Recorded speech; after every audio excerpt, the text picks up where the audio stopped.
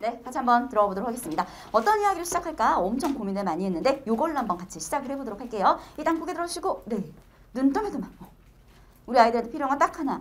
선생님이 하는 모든 말을 싹 다 흡수하고 집으로 돌아가겠다. 그리고 집으로 돌아갈 때 와 정말 오늘 솔직히 머리 너무 많이 써가지고 진짜 오 진이 빠진다 라고 생각이 들 수 있게 3시간 풀로 텐션 올려서 집중해서 수업 들어주시면 되겠습니다. 바로 한번 들어가 보도록 하겠습니다. 우선 어떤 걸로 시작을 해볼까 라고 고민을 했는데 여기서부터 시작을 하는 게 좋을 것 같아. 자, 선생님은 지금 너의 등급은 단 1도 중요하지 않다고 생각한다. 애들 가르쳐 보면 정말 성적이 안 나오던 친구인데 진짜 성적이 툭툭툭 오르는 친구도 있고 혹은 조금 오래 걸려서 성적이 오르는 친구도 있고 내가 기억하는 제일 대박인 친구가 어, 걔가 걔네 학교 일반고였는데 걔네 학교 거의 뒤에서 몇 등 하던 친구였거든. 사수에서 결국에 우리 학교 후배 됐어. 대박이지. 제일 대박. 그래가지고 어, 그 친구가 이제 과외도 하더라고. 과외도 했는데 이건 좀 무서웠어. 재작 작년 재작년이었나? 그 친구가 내가 걔 사, 사수해가지고 대학교에서 난 걔 재수 때부터 가르쳤거든. 재수, 삼수, 사수 이렇게 가르쳤는데 결국 이제 우리 학교로 갔지. 근데 걔가 과외하는 사람이 조폭이래. 너무 말도 안 되지. 조폭인데 자기 딸한테 직업을 말할 수가 없어서 정말로 부끄러움을 느끼고 이제 공, 딸내미가 이제 어린이집 다니는데 아빠 직업 아빠 뭐라고 써야 돼 물어보는데 약간 그런 생각이 들어서 공부를 한번 시작해 보려고 이제 해서 이 친구가 과외를 하게 된 거야. 근데 EBS 강의를 나를 추천해 준 거지. 아, 이승이 강의 들어봐라. 내, 나 선생님한테 너무 좋다. 그래서 들었는데 그분이 너무 나를 좋아하시게 된 거야. 그래서 밥을 사겠다. 어, 괜찮다. 아니, 난 괜찮다. 음, 그런 경우 너무 많아. 애들 가르치다 보면 이렇게 툭. 내가 딱 보는 거. 난 지금 숫자는 중요하지 않다고 생각하는데 머리 등급. 성적이 좀 빨리 오르는 친구와 좀 더디게 오르는 친구는 현재 여러분의 숫자 등급이 아닌 머리 등급과 관련이 있습니다. 자, 지금부터 우리 아이들의 머리 등급이 어느 정도인지 확인해 보도록 하겠습니다. 시간 잠깐 드릴 테니까 눈으로 한번 읽어보세요.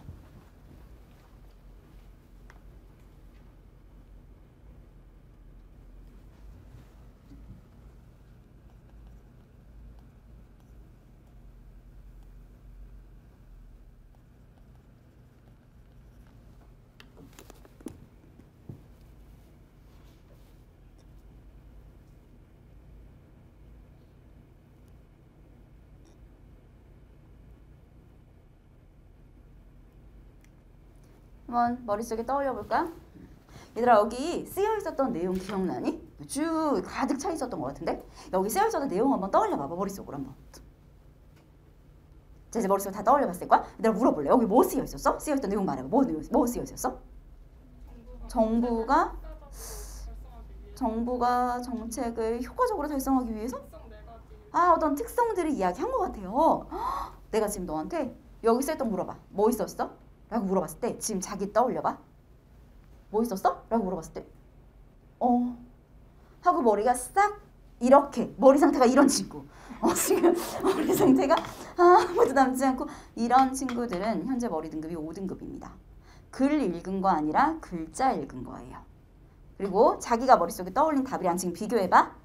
자기가 뭐 읽었어? 라고 했을 때 정부요. 아니면 뭐 수단이요. 뭐 가시성이요. 아니면 뭐 자동성이요. 이렇게 명사들을 떠올린 친구들은 머리 등급이 3등급인 친구들입니다. 자, 근데 머리 등급이 1등급인 친구들은 어떻게 이야기하냐면 선생님 정부가 무슨 정책을 수행하는데 다양한 그 특성들에 대한 내용과 예시들이 나와 있었던 것 같아요. 라고 이야기할 거예요. 머리에 그렇게 남을 수 있는 이유를 지금부터 역추적해 보도록 하겠습니다. 바로 갈게요. 첫 문장 지금부터 같이 한번 소리 내서 읽어보도록 하겠습니다. 첫 단락의 첫 문장 읽어볼까요? 읽어주세요. 시작.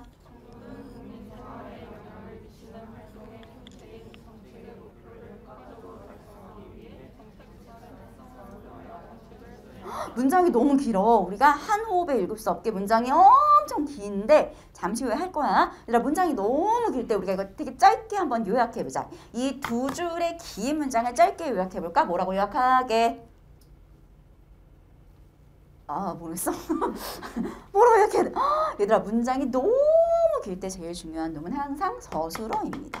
서술어가 수행한다야. 나 너무 궁금한데 수행한다라는 서술어가 성립하기 위해 필요한 말해봐. 누가 필요해? 누가 뭐를 그치? 주어 찾아봐. 누가 정부가 뭐를 정책을 뭐 한다 수행한다. 그러니까 네 머릿속에 정부가 정책을 수행한다가 남아야 되는 거야.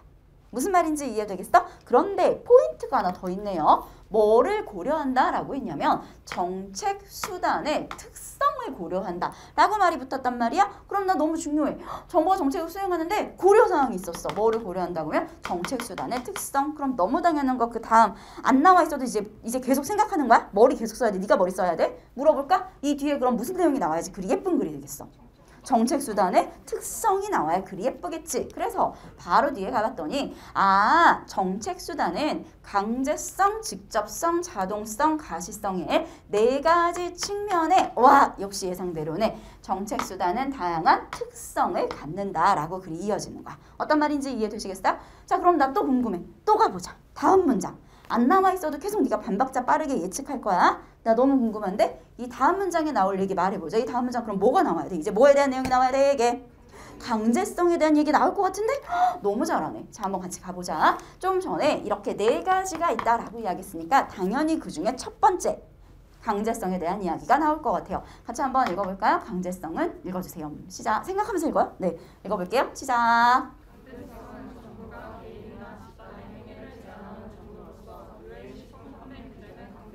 아, 강제성은 정부가 개인이나 집단의 행위를 제한하는 정도로 유해식품 판매 규제는 강제성이 높다라고 이제 강제성에 대한 설명이 딱 나왔네요. 그럼 안 읽어도 알아야 될 것 같은데 또 가보자. 그 다음 문장 우리 애들이 말해볼까? 이 다음 문장은 뭐에 대한 설명이 나와야 글이 예쁜 글이 되겠어?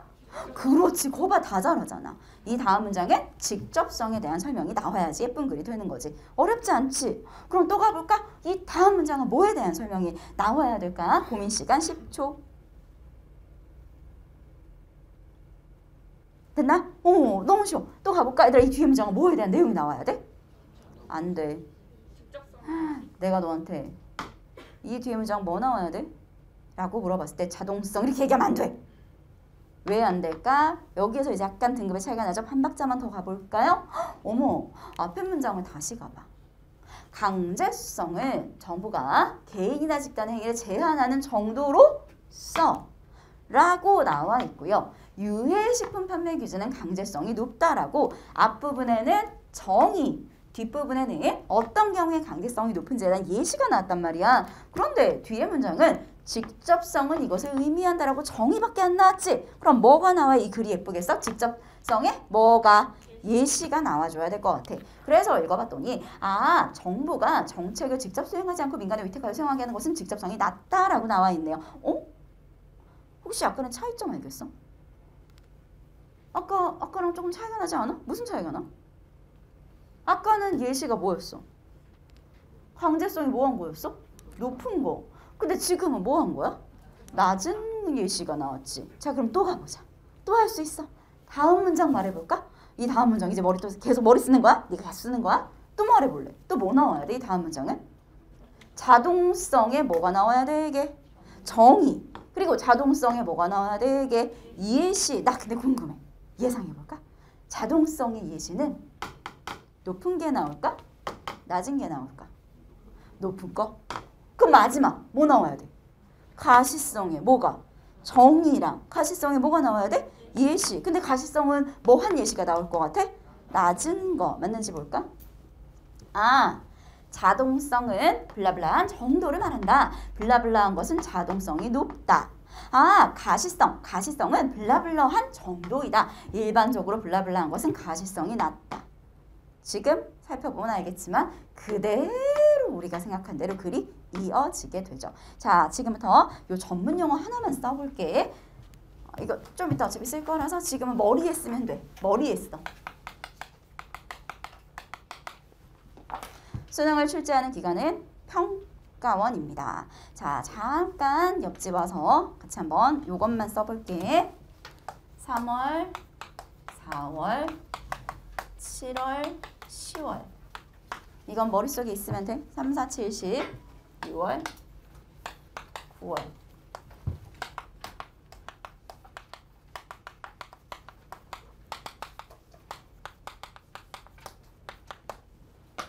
아 요거 날짜까지 써줄까? 시작이니까. 얘들아 단일비 맨 앞에다가 요거 써놔. 빈 공란에 올 1년이라.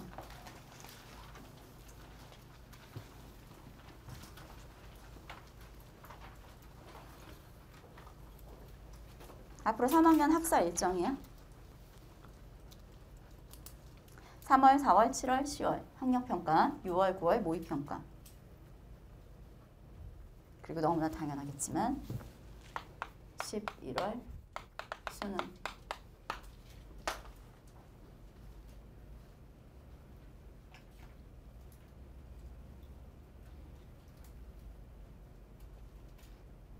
됐죠? 음.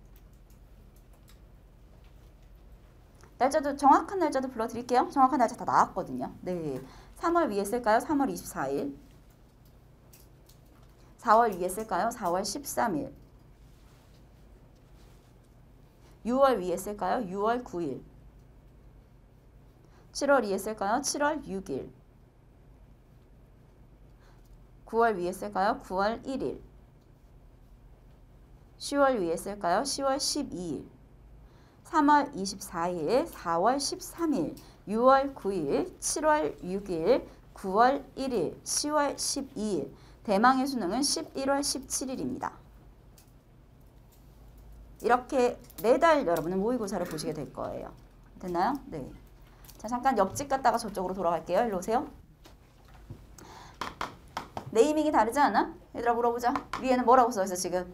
학력평가. 밑에는 뭐라고 쓰여 있어? 모의평가. 이름이 다르다는 이야기는 출제 기관이 다르다는 이야기입니다. 학평이라고 이야기하고 모평이라고 이야기할 거야. 위에 있는 학평은 출제 기관이 교육청이에요. 그래서 서울시에서 3월, 경기도에서 4월, 인천교육청에서 7월, 그리고 다시 서울시에서 10월 이렇게 교육청 모의고사고요. 모의평가는 평가원이 출제하는 시험입니다. 평가는 1년에 시험을 3번 출제해요. 6월, 9월, 수능. 그럼 너무 중요한 거 말해볼까? 얘들아 일단 출제 기간이 다르잖아. 출제 기간이 다르다는 이야기는 무엇을 의미할까? 이 시험을 응시하는 사람들이 다르다는 이야기예요. 물어볼까? 교육청이 출제 그럼 이건 누가 보는 시험이 이게 고3. 이건 고3들끼리 보는 시험이야. 쌤 그럼 이거는 고3이 안 봐? 고3 보지. 플러스 되죠. 누가 플러스 되게 해요? 재수생. 이 모의평가에는 재수생들, 삼수생들, 반수생들, N수생들이 모두 포함되는 시험이 모의평가입니다. 그러면 교육청에 비해 평가원 시험이 뭐 할 가능성이 높을까? 떨어질 가능성이 높아요. 고3 친구들은. 이걸 모르고 시험 보면 어떻게 되냐면 어? 3, 4월에 비해 6월이 좀 안 나왔네. 아, 내가 5월 달에 너무 놀았나? 라고 생각을 해요. 그리고 나서 다시 7월에 보니까 아, 정신을 차렸더니 좀 잘 나오네. 그러다가 다시 또 안 나오면 아 내가 8월 달에 좀 놀았나? 라고 생각을 해요. 그리고 10월 달에 잘 나오면 아 괜찮네 라고 생각하고 다시 안 나와요. 그리고 다시 1년 시작. 이렇게 되니까 가능성이 너무 높죠. 얘들아 모평 재수생들이랑 같이 봐. 재수생 언니 오빠들 공부 너무 잘해. 음, 확실히 다를 수밖에 없어. 잘 생각해봐. 너 지금 1월이랑 올 11월. 올 11월에 너는 지금보다 훨씬 잘할 거야. 근데 그 상태에서 다시 시작하잖아. 게다가 재수생들이 제일 무서운 게 뭔지 알아? 제일 무서운 건 일을 갈고 있다는 거야. 내가 작년에 결과가 안 나왔기 때문에 올해 무슨 한이 있어도 열심히 할 거. 쌤 애들 가르쳐 보면 고3이랑 재수생 너무 다르다. 고3은 뭐 100%는 아니지만 고3은 일단 기본적으로 해맑아. 놀라봐. 너 이렇게 이렇게 해가지고 되겠냐? 어 그럼요. 이렇게 하고 가 아이들이. 쌤 뭐죠? 너 이래 가지고 어, 이렇게 하면 막 얘기하면 막 웃으면서 쌤 저 수능 대박 날 거예요. 너 이래 가지고 이래 가지고 막 이렇게 얘기. 재수생 애들은 선생님 한 것만큼이라도 나왔으면 좋겠어요. 확실히 달라 마인드가 애들 가르쳐 보면 그리고 재수생 애들 제일 속상할 때 막 이런 얘기 막 속상한 건 아니고 속상? 음, 개인적으로 속상했을 때는 재수하면서 막 제가 재수해서 지난 19년 동안 뭐 했는지 하나도 모르겠어요. 뭐 이런 얘기하면 내가 너무 속상해. 어, 왜 그렇게 생각해? 막 그런 친구들이 공부를 다시 시작하는 거랑 고3 친구들 막 고3 있잖아? 이때만 돼도 애들이 막 얘기해. 안 되면 재수하면 되지 뭐. 이렇게 하면서. 그럼 옆에 친구들한테 와서 야 어느 학원은 이렇대. 야 이 학원은 이렇대. 막 이러면서 자기들이 막 서로 재수 상담해줘. 그게 다 재수해. 절대 안돼. 어 절대 그런 생각 하면 안돼. 어. 그 재수생 친구가 선생님 재수를 하니까 인생을 배우게 되는 것 같아요. 뭐 이렇게 이야기했던 옆에 있던 삼수생 친구가 삼수를 하면 철학을 배워. 뭐 이렇게 어 그래 막 이러면서 음, 요 시험들 앞으로 치르게 될 거고 제일 중요한 시험은 육구야. 쌤이 육구는 진짜 꼼꼼하게 분석을 할 수밖에 없는 이유가 여기에서 평가원이 어 이런 식의 난이도가 얘네한테는 너무 어렵네, 너무 쉽네. 아 이런 식으로 트랩을 만들었더니 싹 다 걸리네. 수능에도 이렇게 내면 되겠다. 아 이런 식으로 지문을 구성했더니 아이들이 못 풀고 썰리네 이런 식으로 구성하면 되겠다라는 테스트 보드의 역할을 하기 때문에 육구는 무조건 아주 꼼꼼히 수업 시간에 분석할 거야 앞으로 1년 동안 선생님이랑 우리 애들 제일 열심히 볼 시험이 3, 6, 9 이렇게 세 개 굉장히 열심히 볼 거고요. 뭐 나머지 교육청 모의고사들은 선생님이 언급하는 정도 네 이렇게 쭉 진행이 될 겁니다. 자 그런데 제가 이렇게 써드린 이유가 있어요. 이걸 쓴 이유가 있겠죠. 이걸 왜 썼냐? 모의평가와 수능은 평가원이 출제하는데 평가원은 우리나라에서 가장 똑똑한 교수진들이 모여요. 교수 플러스 교사로 구성되어 있습니다. 그래서 교수들이 진짜 똑똑한 교수들이 글을 싸질러요. 원래 그거 알지? 똑똑한 애들은 너무 똑똑한 애들은 애들이 이걸 왜 모르는지 몰라. 글을 막 싸질러. 그러면 학교 선생님들이 그걸 고쳐. 어떻게? 깔끔하고 딱 떨어지는 글로. 그래서 그런 걸 우리가 전문 용어로 뭐라고 할 거냐면 윤문이라고 이야기할 거야.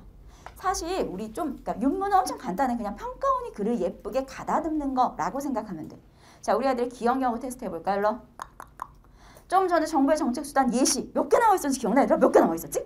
네 개. 근데 맨 처음에 예시가 뭐 하다는 예시였어? 높다. 그 다음 예시는 뭐 하다는 예시였어? 낮다. 사실 그리고 나서 그 다음 예시가 낮다 낮다가 나올 수도 있고 혹은 낮다 높다가 나올 수도 있어. 그건 필자 마음이야. 근데 평가원이 유문할 때는 왁구를 딱 맞춰주기 때문에 네 개가 있으면 높다 낮다. 그럼 다음번은 뭐라고 하게? 높다 낮다 이렇게 주는 거야. 이게 다 전부 다 윤문에 의한 거다라고 생각하시면 되겠습니다. 그래서 선생님이랑 수업 시간에 우리 뭐 배울 거냐면 얘들아 이 말 나왔으니까 뒤에 무슨 말 나와야 돼? 이 내용 나왔으니까 뭐 나와야 돼? 아 국어는 어차피 이 뒤에 지가 하고 싶은 말대로 글이 이어지긴 해. 그래서 윤문의 과정을 거친 평가원 글들은 깔끔하고 깨끗하게 수정될 수밖에 없다라는 거 쌤이랑 요거 보는 연습 계속 같이 할 거야. 여기까지 이해되시겠죠? 이거 원래 여기까지 안 하려고 그랬는데 너무 잘 들어서 할게. 내가 출제자가 돼봐. 여기까지 가볼게. 너무 잘 들어서 이 지문 가지고 문제 출제해봐. 잠시 후에 시켜볼게. 쌤 제가 만약에 이 지문 가지고 문제를 출제하면 문제는 항상 지문과 연결고리거든. 제가 만약에 이 지문 가지고 문제를 출제하면 전 이렇게 문제를 출제할 것 같아요. 고민 시간 10초. 됐나? 문제 한번 출제해 봅시다. 도전. 제가 근처로 갈게요. 손 들면. 쌤 제가 출제자라면 저는 이런 문제를 이렇게 낼 것 같아요. 어, 한번 물어볼까? 어떤 문제 낼것 같아요, 현지야? 저는 선지에서 강제성이 낮은 예시를 주고 그 강제성이 낮는지를 반대로 물어보는지 아 뭐라고 했냐면 좀 전에 쌤 저는 문제를 낼 건데 예시를 줄 때 강제성이 낮은 예시를 줘서 문제를 낼 거예요. 왜 그렇게 생각했어? 어, 한 번 더 생각을 해서 생각을 해봐야 하니까 그렇게 낼수 있을 것 같아요. 아, 지문에는 강제성이 높은 것에 대한 예시를 줬기 때문에 그리고 단순하게 높은 것뿐만 아니라 다른 거는 낮다가 섞여 있기 때문에 줬을 때 반대로 줄 거예요. 네, 실제로 출제가 됐습니다. 너무 좋아요. 또 마이크 뒤로 넘겨줄래? 두줄 뒤에 넘기면 될 것 같은데 둘 다 들고 말하면 돼. 어. 또 저라면 특성의 예시를 제시를 해놓고 이 특성이 그 특성에 대한 내용이 맞는지 예시를 확인하는 문제. 네 개가 나왔기 때문에 이게 강제성에 대한 예시인지 아니면 직접성에 대한 예시인지 자동성에 대한 예시인지 가시성에 대한 예시인지 이걸 물어볼 것 같아. 왜 그렇게 생각했어? 어, 예시가 네 개나 나오기 때문에 지금 이 문제를 읽고 있는 사람이 이 예시를 정확히 이해하고 있는지 확인하고 싶어 할 것 같아요. 맞아요. 실제로 출제가 됐습니다. 여러분이 지금 푸신 문제는 전부 다 기출 문제예요. 우리 뭐 연습할 거냐면 얘들아 이 지문이니까 어떤 문제가 나올 수밖에 없지? 이렇게 말했으니까 취지자가 어떻게 매- 트랩을 만들어낼 수밖에 없지? 요 연습 같이 할 거야. 너무 당연한 추론이야? 종료 4개 나왔잖아. 예시 4개 나왔잖아. 그럼 얘네들의 예시와 내용을 짝짓기 하는 문제 되겠지. 어떤 말인지 이해되겠어? 그리고 조금 여기서 더 어렵게 내면 높다 낮다라고 이야기했으니까 이걸 반대로 낮다 높다로 바꿔가지고 문제 출제할 수 있겠지. 이렇게 계속 연습할 거야. 단순하게 글을 읽고 문제를 푸는 게 아니라 이렇게 하면 어떻게 생각할 수 있지? 이렇게 하면 어떻게 낼 수 있지? 요 연습들을 선생님과 계속 같이 진행한다라고 생각하시면 되겠습니다. 둘다 아주 잘 얘기했어요. 마이크 앞으로 주세요. 어 그리고 지금 제가 두 명한테만 시켜봤는데 저는 수업 시간에 많이 시켜요. 제가 돌아다니면서 제 손드는 친구들한테 이렇게 마이크를 줄 건데 잠깐만 주의사항만 알려줄게. 지금 두 명 너무 잘하긴 했는데 마이크가 이게 이거는 현장 애들한테 들리는 마이크야. 교실에 친구들이 많기 때문에 앞에서 이야기하면 잘 안 들릴 수 있거든. 그래서 제 마이크를 주면 이거는 크게 들리는 마이크. 말해봐 현지야. 어, 크게 들리는 마이크. 그 다음에 이거는 크게 들리지 않아. 한번 또 볼까? 얘기해봐. 아, 어, 지금 크게 안 들리지. 이거는 인강에 들어가는 마이크야. 어, 왜 연예인들 방송할 때 보면 마이크 차는 거 있잖아. 그 마이크가 이거거든. 그래서 요렇게 두 가지의 마이크를 우리 애들은 입에다 가까이 대고 말하면 돼. 어, 근데 주의사항은 딱 하나. 요거를 너무 탕 놓으면 인강애들 입장에서 듣다가 탕 이렇게 그럼 귀 고막 테러거든. 그래서 그거 주의하는 거랑 아주 가끔 너무 떨리나 봐. 이렇게 얘기해 볼까 이렇게 주면 아, 할 뻔했다. 마이크 대고 이렇게 인간들은 에어팟이나 버즈 끼고 도 이렇게, 이렇게 너무 소름 돋는 그런 경험을 하게 되거든. 내가 어제 흉내내다가 나도 모르게 이걸 대고 아 이렇게 했더니 PD님이 이렇게 깜짝 놀라시더라고. 그래서 그거 주의하는 거랑 아주 가끔 이거를 주면 인강 친구들과 도킹을 시도하는 친구가 있어. 내가 저, 뭐 시켜볼까 했더니 앞에 있는 친구가 아 아. 들리시나요? 막 이런 갑자기 이러는 거서 저 미친놈이 뭐라는 거지? 아 계속 쳐다보고 있었더니 갑자기 제 연락처는 010 하면서 부르는 거야. 그래서 내가 야 이 새끼야 내놔라. 엄청 그런 것만 주의하면 나머지는 상관없을 것 같아.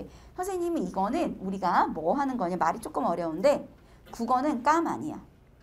아 물론 물론 아주 조금의 감이 있긴 하지. 일정 부분 아주 조금의 감이 있긴 하지만 기본적으로 수능 국어는 논리인데 이걸 계속 시킬 거야. 왜 그렇게 생각했어? 뭐 때문에 그렇게 생각했어? 라고 생각하면서 선생님 이것 때문에 이래서 이래요 라고 네가 무의식 중에 하는 과정을 밖으로 꺼내서 표면화시키는 연습을 생각 우리 아이들이 함께 한다라고 생각하시면 될 것 같고요. 그래서 제 수업은 저와 여러분과 인강 듣는 친구 모두가 함께 만드는 수업이에요. 네가 생각하고 네가 고민하고 다른 사람의 생각과 내 생각을 비교하는 요 훈련을 함께 한다라고 생각하시면 될 것 같고요. 이번에는 문학입니다. 한 장 나눠준 종이 한번 읽어볼까? 인간 친구들은 제가 파일 첨부해 놨을 거예요. 제가 좋아하는 시예요.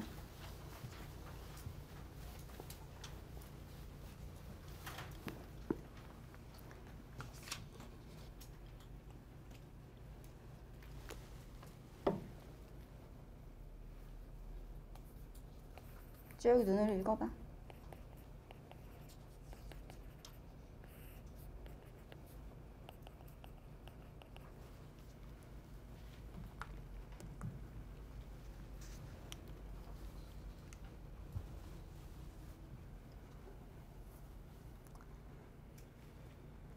잠시 후에 너네들이 읽은 거랑 쌤이 읽은 거랑 얼마나 비슷한지 비교해 볼게.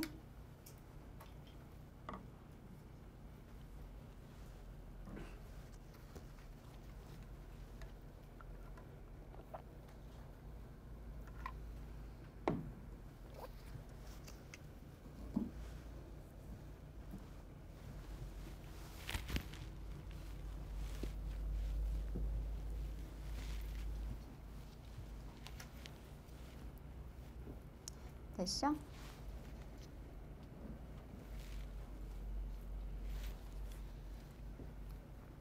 갈까? 응. 여기 들었어요? 네. 음. 첫 시간 그럼 이제 비문학은 큰 틀은 이렇게 진행된다라는 거 보여주면 될 것 같고 문학 같은 경우에는 어떻게 읽으면 된다, 어떻게 볼 거다 이런 것들을 한번 좀 전체적으로 보여주고 수업을 들어가는 게 좋을 것 같아서 쌤이 좋아하는 시로 한번 준비를 해봤습니다. 지금부터 제가 읽은 과정과 여러분 읽은 과정 비교하면서 같이 가볼게요. 문학도 똑같거든. 네, 한번 가볼게요. 1년 같이 한번 가보도록 하겠습니다. 1년에 맨 처음이 뭘로 시작했냐면 잃어버렸습니다. 라고 글이 시작됐단 말이야. 그럼 너무 당연한 거 물어볼까? 얘들아 너 이 생각하면서 읽어야 될 것 같아. 맞춰봐. 너 무슨 생각? 아까랑 똑같아? 무슨 생각하면서 읽어야 돼 이게? 그렇지. 뭘 잃어버렸는지. 내가 결국에 이 시에서 찾아야 되는 건 뭘 잃어버렸는지구나 라는 거. 생각 과정이야 계속. 자 계속 가볼게. 무엇을 어디에 잃었는지 몰라 두 손이 주머니를 더듬어 길에 나갑니다. 그럼 또 물어볼래? 너네들이 또 한번 생각해볼까? 길에 나갑니다 라고 이야기인데 우리 애들이 말해줘 왜 길에 나갔게? 뭐 하려고? 잃어버린 걸 찾으려고 무슨 말인지 이해되겠어? 자 우리 아이들은 아 잃어버린 걸 찾으려고 길에 나갔구나 라는 이 생각 정도는 당연히 해야 되는 생각이야 자 계속 가보자 이 생각 했으려나? 한번 읽어봐봐. 돌과 돌. 이연 한번 소리내서 읽어봐봐. 읽어볼게요. 읽어주세요. 시작.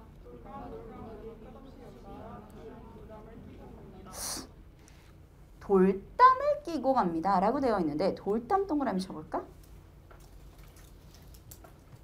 선생님은 이 시에서 돌담이 좀 유의미하다라고 생각을 했어요. 여러분도 그렇게 생각하시면 좋겠네요. 자, 제가 지금 결론은 말했습니다. 저는 이 시에서 돌담이 유의미하다고 생각했어요. 이제부터 여러분은 근거를 찾아주시면 됩니다. 10초. 왜 돌담이 중요하지? 뭐지?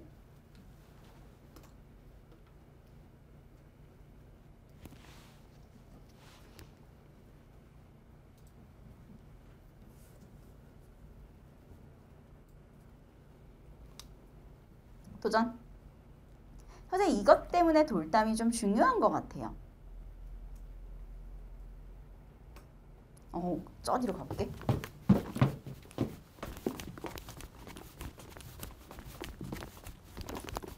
오케이. 왜 돌담이 중요한 것 같아? 어, 이 시에서 잃어버린 걸 찾고자 길에 나아가잖아요. 네. 근데 길에 나아가는데 이 길을 돌담이랑 같이 끼고 다니까 뭔가 중요하지 않을까. 아, 친구가 뭐라고 이야기했냐면 일, 일단 이 시의 제목도 윤동주의 길이야. 어?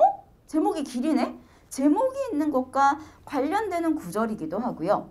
1년에서 뭐라고 이야기했냐면 길에 나아갑니다 라고 이야기했는데 그 길이 돌담을 끼고 간다 라고 이야기했기 때문에 이때의 돌담은 굉장히 의미가 있는 기능을 할 것 같아요 라는 거 너무너무 잘 얘기했지 또 보태기 뭐 여러 가지 이유가 있을 수 있으니까 또 바로 위에랑 밑, 아, 바로 밑에랑 쭉 해서 돌담 이야기가 계속 나오고 그 바로 윗줄에 보면은 돌과 돌과 끝없이 연달아라는 말이 이 앞에 나온 돌이 밑에 나온 돌담이랑 같은 말이지 않을까요? 아, 이 바, 구절을 봤더니 바로 위에도 돌과 돌과 돌이 끝없이 연달아 길은 돌담을 끼고 갑니다. 아, 쌤. 한 번, 두 번, 세 번, 네 번, 네 번째 반복되는 말이고요. 그리고 또 밑에는 봤더니 돌담 중에 돌이 하나, 둘, 세 번 반복됐다면 또 밑에를 봤더니 담은 쇠문을 굳게 닫아라고 되어 있고 또 두줄 뒤이어 밑에 봤더니 돌담을 더듬어 돌담이란 말이 계속 반복되고 있는 걸로 봐서 이게 되게 좀 유의미한 대상일 것 같아요. 위아래로 훑어봤더니 계속 반복되잖아. 그죠? 오, 너무 좋아. 또? 어, 좋은데? 또 현재 뒤로 한 번만 넘겨줄래? 또 지영아? 뭐 때문에? 유견에 풀한 폭이 없는 이 길을 걷는 것은 담 저쪽에 내가 남아있는 까닭이라고 했는데 그 제목에 길인 것도 있고 길을 걷는 까닭이 저 담을 사이로 또 다른 내가 있는 게 이유이기 때문에 중요한 것 같습니다. 완전 시 독해를 끝냈어 끝냈어. 자 지금부터 같이 한번 가볼까? 거기 들어봐. 일단 우리는 이 시를 이렇게 읽어야 돼 잃어버렸습니다 뭘 어디에 잃어버린지 몰라 두 손이 주머니를 더듬어 길에 나갑니다 아 잃어버린 거 찾으려고 길에 나갔나 보네 이게 당연한 추론 돌과 돌과 돌이 끝없이 연달아 길은 돌담을 끼고 갑니다 아 난 지금 길에 있는데 이 길이 돌과 돌과 돌과 돌이 끝없이 연달아 있는 돌담을 끼고 나는 여기를 걸어가고 있구나 라고 이야기를 했어. 여기까지는 단순 배경일 수도 있어. 아직 잘 모르겠어.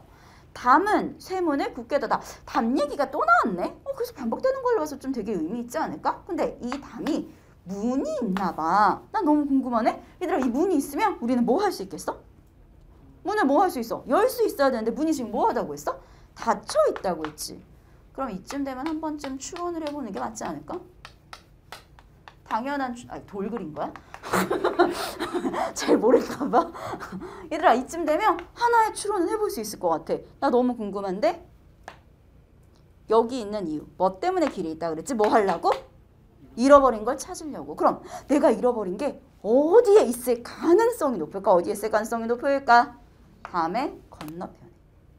그니까 이 담 얘기를 계속하는 거고 이 담과 나 사이에 문이 있다라는 표현을 하는 거고 근데 찾기가 힘들 것 같아. 문이 뭐에 있다고 했으니까 닫혀 있다라고 이야기했으니까. 이렇게 추론하면서 읽으면 굉장히 도움 많이 되는 거지. 뭔 소린지 이해되겠어? 쓸 필요 없어. 이 시가 나오는 건 아니거든. 우리는 이 시를 읽어내는 방식을 맞추는 거야. 또 가볼게. 그냥 다 계속 하면 돼. 못했으면 지금 계속 하면 돼. 하면 되지. 음. 길은 아침에서 저녁으로 저녁에서 아침으로 통했습니다. 한 번 더 가볼까? 안 나와 있지만 추론해봐 아침에서 저녁으로 저녁에서 아침으로. 그럼 이 뒤에 문장 또 너네가 말해볼래? 또다시 아침에서 저녁. 또다시 저녁에서 아침. 또다시 아침에서 저녁. 시간이 계속 흘러가고 있다는 이야기야.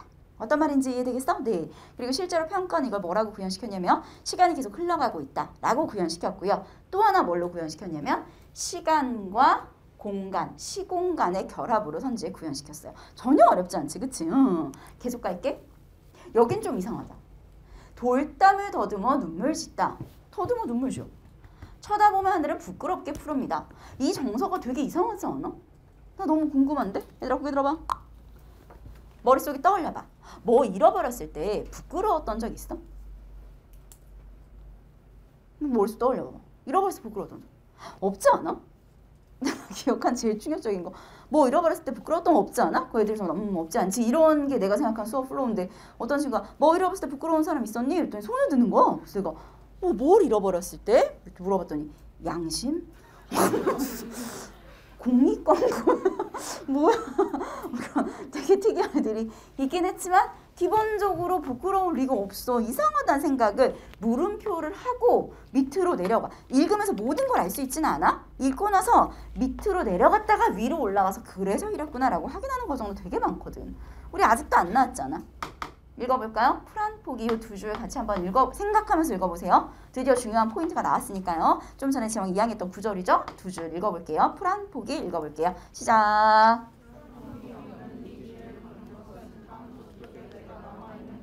이제 합쳐보자. 일로 와. 풀 한 포기 없는 이 길을 걷는 거 우리 한번 물어볼까? 얘들아 풀 한 포기 없는 이 길 걷는 거 아까 어서 본 거 같아. 풀 한 포기 없는 이 길 걷는 이유 너네들이 말해줘. 뭐 때문에 이 길을 걷는 거였게? 잃어버린 걸 찾으려고였지. 뭔 소린지 이해되겠어? 혹시 stop. 혹시 혹시 너네가 어 그냥 걷고 싶었던 거 아닐까요? 그냥 풍경이 좋아서 아니었을까요? 걷다 보니 하늘이 예뻐서 아니었을까요? 라고 말할까봐 말을 붙였네요. 풀 한 포기도 없는 이 길을 걷는 거.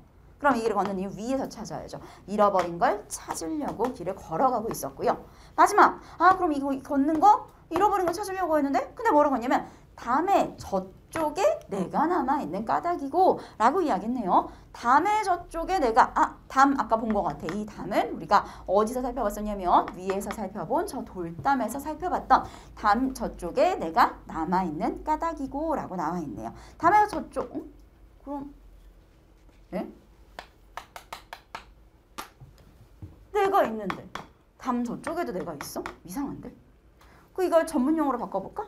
얘들아 이런 말 자체는 몰라도 되긴 하는데 나라는 말을 두 글자로 조금만 고급지게 바꿔봐. 나라는 말을 두 글자로 조금만 고급지게 바꾸면 뭐라고 이야기하게? 자아. 왜? 그럼 자아가 두 명이야?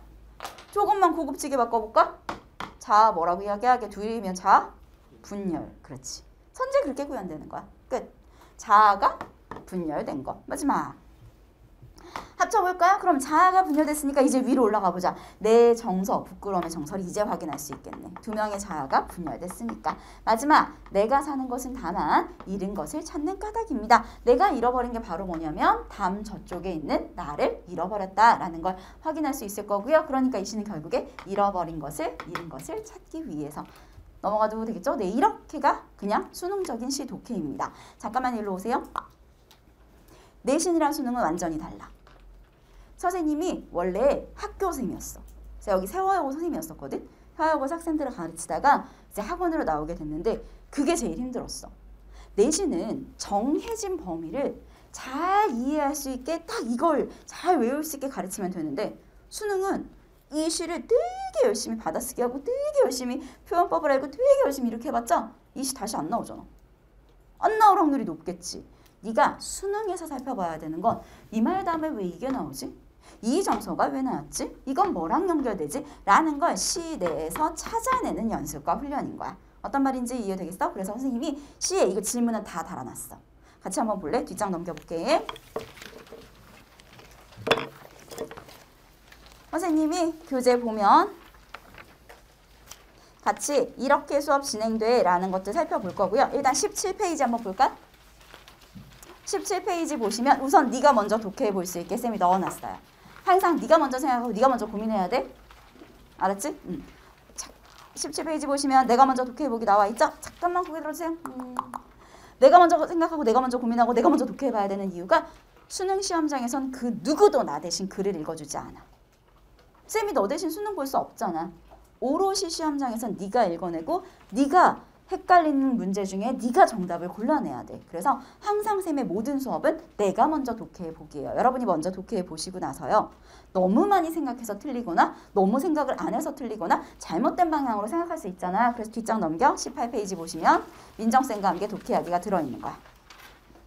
어떻게 진행되는 건지 알겠지? 그리고 밑에 지금 보면 파란 색깔 선생님이 아 이거 평소형으로 해석해 볼까? 얘들아 이거 어떻게 이어볼까? 그리고 이 선지에서 뭐 가져가야 될까? 그리고 여기서 나왔었던 19페이지 보면 개념 어디까지 어떻게 수업 진행되는지 알겠지 얘들아? 요렇게 전체적인 큰 틀로 수업이 진행될 거고요. 수업을 들었어. 집에 가서 복습을 했는데 수업 시간에 했던 말이 기억이 안 날 수도 있는 거잖아. 그래서 쌤이 해설지를 아주 상세하게 써놨어요. 해설도 한번 펴볼까요? 해설 펴보시면 우리 MJ 레이블의 어깨뼈가 갈려 있습니다. 그 이름 너무 웃기지 않아요? MJ 레이블. 다른 선생님들은 다 뭐 김민정 국어연구실, 김민정 국어연구소 이렇잖아. 근데 그게 좀 너무 평범한 게 하기 싫은 거야. 그래서 내가 아, 얘 연구실 이름 뭘로 지을까? 막 한참 고민했더니 현주 언니가 그럼 우리 힙합의 MJ 레이블은 어때요? 이러니까 되게 힙합 크루 같이 지어보자고. 근데 좀 마음에 들어서 짓긴 했는데 약간 시간이 지나고 나니까 부끄러워. 그, 그 느낌 알아? 왜 초등학교 때 그 이메일 주소 만들 때 막 GD 마누라 이렇게 만들었다가 나중에 너무 부끄러운 약간 그런 느낌이긴 한데 어쨌든 저희 MJ 레이블 선생님 연구실 이름이에요. 네, MJ 레이블에 어깨뼈가 갈려 있는 해설지 한번 볼까요? 보시면 제가 파란색으로 아까 질문 달아놨던 거다답 달려 있지. 그리고 마찬가지 모든 선지, 모든 선지에도 이 선지별로 전부 다 설명이 달려 있을 거예요. 그리고 매력적인 선지는 왜 아이들이 낚였는지, 하지만 왜 아닌지 쭉 다 설명되어 있기 때문에 우리 아이들 집에 가서 복습할 때에도 해설지를 확인하면 훨씬 도움될 거야. 어떻게 진행되는 건지 이해되시겠죠? 네. 또 고개 들었어요. 네. 여기까지 갈 필요는 없는데 잘 들으니까 한번 물어볼까? 이건 그냥 감상이야. 어. 수능에서는 감상은 나오지 않아. 발문은 감상이지만 실제로는 그냥 내용을 치거든. 근데 지금은 감상. 머리 이 시의 내용을 설명해 줄게. 머릿속에 생각해 봐. 내 질문을 던질게. 어떤 사람이 되고 싶어? 한번 머릿속에 잘 생각해 봐. 어떤 사람이 되고 싶지? 물어볼까? 어떤 사람이 되고 싶어? 돈 많이 버는 사람. 돈 많이 버는 사람. 어떤 사람 되고 싶어?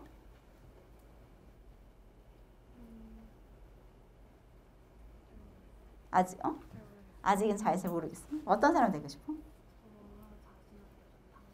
저 자신한테 좀 당당한 사람. 어떤 사람 되고 싶어? 하고 싶은 걸 하면서 행복한 사람? 음. 지금 거꾸로 물어볼게. 하고 싶은 걸 하면서 행복해? 아 지금 하고 싶은 걸 하면서 행복해?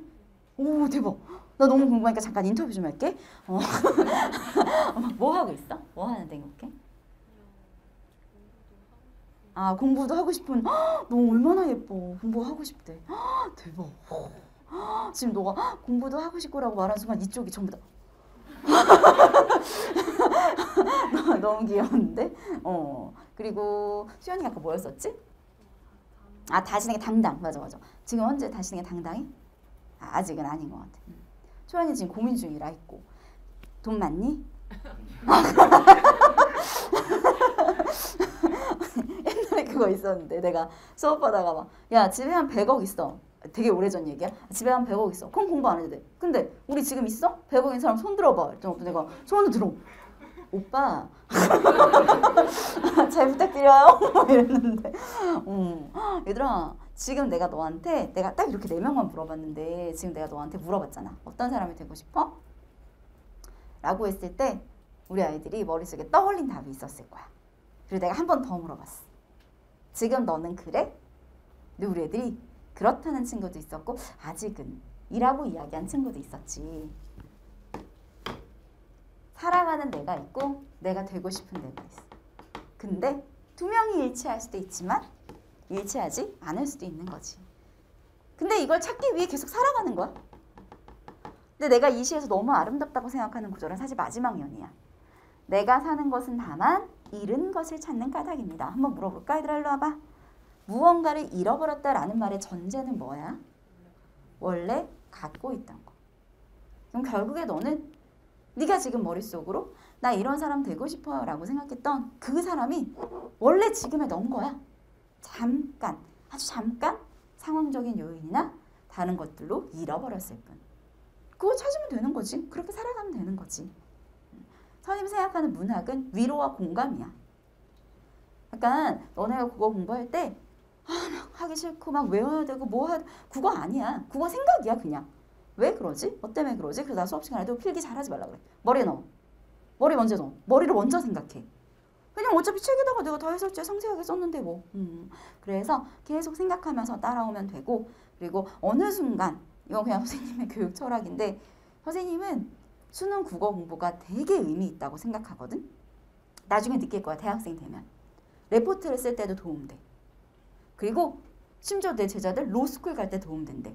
심지어 쌤 제자들 변호사 되고 나서 도움된대. 소장 쓸 때 도움된대. 비문학 한 개. 헉, 쌤 제자들 헉, 의사 돼서 도움이 된대. 네가 지금 수능 공부, 국어 공부를 하는 건 난 항상 목적 의식이 중요하다고 생각하는데 수능 국어 공부를 하는 건 단순하게 문제를 풀고 맞고 말 막- 맞고 틀리고의 문제가 아니라 왜 이렇게 생각해야 되지? 이걸 통해서 난 뭘 배워야 되지? 이걸 통해 어떤 거를 더 얻어갈 수 있지? 라는 생각을 항상 하면서 국어 공부를 하면 굉장히 의미가 있지 않을까라고 생각을 하고요. 우리 아이들도 그렇게 생각했으면 좋겠어. 그리고 교재 목차 한번 펴볼게.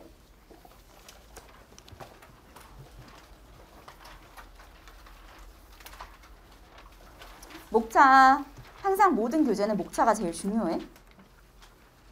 그래서 목차를 살펴봤더니 파트 1 문학, 파트 2 독서 이렇게 되어 있지, 그치? 문학 중에서는 우리 반에서는 운문 같이 나갈 거고요. 산문은 open반에서 같이 나갈 거야. 인강 친구들의 경우에는 그러니까 일주일에 총 3강. 운문 하나, 산문 하나, 비문학 하나 요렇게 강의가 업로드가 될 거고요. 그리고 뒤에 봤더니 부록이라고 붙어 있지, 그치? 자, 요 부록도 잠깐 설명할게. 얘들아 고개 들어. 우리가 기출을 보는 이유는 같은 왁구가 반복되기 때문입니다. 어? 이 말이 나왔어. 그럼 반드시 뒤에 이 말이 나오고 이 내용 나오면 반드시 뒤에 이 내용이 나오는 글자가 다른데 틀이 반복되는 내용들이 계속 반복되거든. 근데 내가 수업 시간 설명할 거야. 얘들아 이거 언제 기출이랑 되게 비슷해. 얘들아 이거 몇 학년도 무슨 모평이랑 되게 비슷해. 그러면 열심히 하는 친구들은 그 다음 주에 가져와. 쌤 제가 쌤 지난주에 말씀하신 질문 풀어봤는데요. 이런 측면에서 이래가지고 이것 때문에 비슷하다고 말씀하신 거 맞나요? 서진이 언니가 그랬어. 쉬는 시간에 쌤 선생님 지난주에 말씀하신 이거 제가 풀어봤는데 이래가지고 저래가지고 그것 때문에 비슷한 게 맞나요? 이런 것들을 말하는데 또 너무 해맑은 우리 친구들은 안 봐. 아, 들 풀어봐야지 이렇게 하고 보지 않아. 그래서 내가 책에 싹 다 넣었어. 정답 및 해설책 꺼내볼래? 84페이지 펴봐. 정답 및 해설. 기출의 클리셰. 나와 있지? 음. 기출의 클리셰 쌤이 수업 시간에 얘들아 이 짐은 언제 무슨 기출이랑 되게 비슷해 라고 설명할 거야. 그 내용을 쌤이 교재에 다 넣어놨고요. 내가 학생이라면 궁금할 것 같아. 어 이거 선생님이 강의 설명하시는 것도 듣고 싶은데 라고 궁금할까봐 그 밑에다가 어떤 강의 몇 강에서 이 짐은 다뤘는지도 써놨어. 무슨 말인지 이해되시겠죠? 그래서 우리 아이들이 쭉 잘 따라올 수 있게 선생님이 정리해 놨고요. 그 다음 또 선생님이 부록에 고전시가 필수어휘, 고전수사 필수어휘가 있었을 거예요. 선생님이 잠깐만 일로 하세요. 어, 형원 친구들은 아까 오자마자 우리 수업 진행 기억나? 오자마자 제일 먼저 뭐부터 본다 그랬어? 단어 시험 본다 그랬지. 그 단어 시험이 104페이지예요. 우리 부록에 104페이지에 나와 있습니다. 자, 지금 104페이지 살펴봤더니 고전 시가에 많이 나오는 필수 어휘들이 쭉 정리가 되어 있죠. 다음 주 시험 범위는 1번에서 19번이에요. 어, 그럼 다, 그 다음 주도 알겠다. 그 다음 주 시험 범위 너네들이 말해볼래? 그 다음 주 시험 범위 몇 번에서 몇 번이 이게? 20번에서 37번. 한 페이지씩 시험 범위야. 쌤, 시험지는 어떻게 나와요? 궁금하지? 그래서 116페이지 펴봐. 116페이지 펴봤더니, 어, 똑같대. 좀 전에 104페이지 본 거랑 116페이지 본 거랑 완전히 똑같지? 근데 딱 하나 다르네. 뭐만 빠져 있냐면 현대어만 빠져 있지. 지금 살펴보면 1번에 곧, 현, 고전 어휘 그대로 나와 있고요. 예문. 아, 곧 요코의 여름 하나니 정제 용비어천가에 나왔다라는 출전도 나와 있어요. 그런데 쌤이 현대 어인 꽃 이 부분만 빵꾸로 뚫어놨잖아. 우리 아이들 순서도 안 받고 이 시험지 그대로야. 선생님이 수업 시간에 시험지를 나눠줄 거거든. 근데 우리 아이들이 혼자 공부해 보라고 우리 인강 친구들을 위해서도 선생님 여기다가 시험지도 같이 넣어놓은 거니까 요렇게 같이 따라오시면 될 것 같아요. 어떻게 진행되는 건지 아시겠죠? 네, 요렇게 하시면 우리 아이들이 쭉 수업이 진행될 거고요. 손 봐주세요. 네, 마지막 단위비 강의는 독서 총 13강, 운문 9강, 산문 6강으로 예상되고 있습니다. 이렇게 수업이 쭉 진행된다라는 거 같이 가져가시면 될 것 같고요. 여러분이 약속해줘야 되는 건 딱 하나, 내가 생각하고 내가 고민하는 거. 근데 나 너무 좀 기분이 좋아. 아, 얘기해도 되나? 그 사실 선생님들이 나 들은 얘기 그대로 해도 돼? 약간 기분 나빠하기 없기? 선생님들이 나한테 그렇게 그렇게 주의를 주는 거야. 주- 마음의 준비 단단히 해라. 작년 8월부터 마음의 준비 단단히 해라. 이번 이제 너 내일 좀 있으면 맞게 되는 예비 고3 애들 진짜 빡대가리다. 선생님들이 나한테 그렇게 말을 하는 거야. 2학년 선생님들이. 그래서 내가 어, 선생님 왜요? 막 이랬더니 애들이 얘네가 중학교 3학년 졸업도 제대로 못하고 코로나 때문에 고등학교 1학년 입학도 제대로 못하고 학교도 막 수업도 계속 비대면으로 이뤄졌다가 막 대면으로 이뤄졌다가 막 그렇게 해가지고 학습의 연속성이 굉장히 떨어지는 친구들이다. 그래서 수업하면 엄청 힘들 거다. 그래서 내가 에 못하는 건 가르치면 되죠. 괜찮아요. 이랬어. 나 원래 성격이 없거든. 하면 되죠. 막 이렇게 했더니 더 힘든 게 있다. 그래서 내가 뭔데요? 그랬더니 애들이 반응이 없대. 다른 수업이 그러니? 어때 반응이 없어? 아 반응이 없대. 선생님이 막 같이 읽어볼까? 그랬더니 아무도 읽지 않는데. 그리고 선생님 막 웃긴 말을 해도 아무도 웃지 않는데 그래서 내가 안 웃겼겠죠? 이랬어. 그랬더니 선생님이 아니래 웃겼대. 근데 애들이 1초 후에 웃는데 웃는 것도 되게 웃겨도 하고 바로 그 가만히 있는데 그래서 내가 걔 선생님 이런 표현 써서 혀- 대면 수업을 비대면 듣듯이 듣는다. 아이들과 선생님 사이에 결계가 쳐 있는 느낌이다. 이렇게 표현을 하셔가지고 선생님이 이제 금토일 개강을 하면서 되게 두려웠거든. 어 어떡하지? 나는 우리 아이들과 티키타카 되게 중요하다고 생각하고 나 계속 질문하고 답하고 질문하고 답하고 이게 되게 중요하다고 생각하는데 내가 수업에 들어가서 읽어볼까? 아무도 안 읽어. 그래 민정이가 읽자. 막 이렇게 하고 내가 혼자 읽고 아 웃긴 얘기 나 아무도 안 웃어 어떡하지? 막 이러면서 막 진짜 걱정 많이 했어. 그때 애들 하도 막 공부 안 하고 못 하고 막 이런다 그래가지고 눈 되게 멍청하게 막 이렇게 있으면 어떡하지? 막 이런 걱정과 우려를 했는데 어머 금요일날 애들이 너무 괜찮은 거야. 그래서 어 생각보다 되게 괜찮은데? 근데 어제 1%반 너무 괜찮은 거야. 진짜 어제 1%반 애들 똑똑한 친구 너무 많은 거야. 그래서 어 어, 이- 일요일 아, 오픈반 그럼 그 아이들은 다 일요일 날 오는 건가? 막 이러면서 혼자 막 고민했는데 웬, 웬일이야? 너무 너무 잘하는데? 아, 아이들이 눈빛이 너무 좋아. 아 그렇죠. 이렇게 줘 내가 질문할 때도 왜 그러지? 뭐 때문에 그러지? 다 보여 눈빛 보면. 생각을 해 애들이. 어, 뭐 때문에 그러지? 왜 그러지?